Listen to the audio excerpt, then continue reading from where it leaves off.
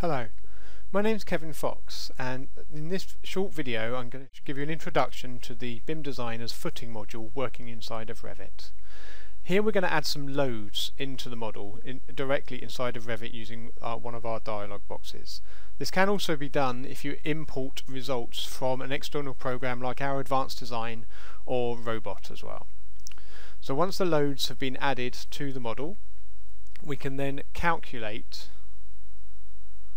directly and all of the reinf reinforcement is produced. You can see we're getting full reports and wa any warning messages will appear. You can change the model directly using the Revit functions or you can use our built-in dialog boxes as well. So here we've just changed the cover in two different ways but both is accepted.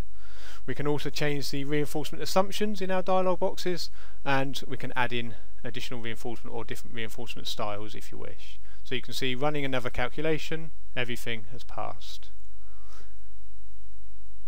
If you want to make some more changes to the model, you can do that in directly inside of a dialog box, a reinforcement dialog box, and you notice it has theoretical and design reinforcement there to make sure that you've actually covered the design requirements.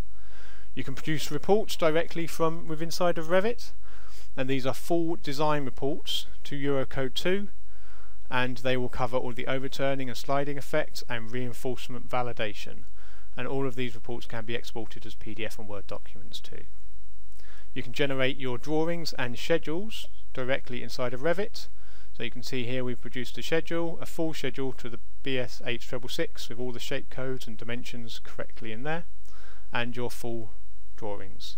You can modify the drawings using Revit native tools or you can modify the main templates as well so they are produced correctly straight away. All of the reinforcement produced is a Revit native reinforcement object so you can see all of the properties of them.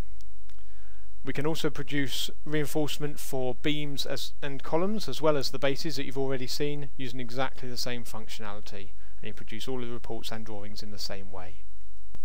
It's worth pointing out that even though what you've just seen has been the full design process, the BIM designers can also be used for just reinforcement, so you don't need to put in any loads or design requirements and use the dialog boxes to produce your reinforcement drawings and schedules inside of Revit. All of the modules also work as standalone modules as well, as well as in our advanced design package. Uh, please contact me if you would like any more information.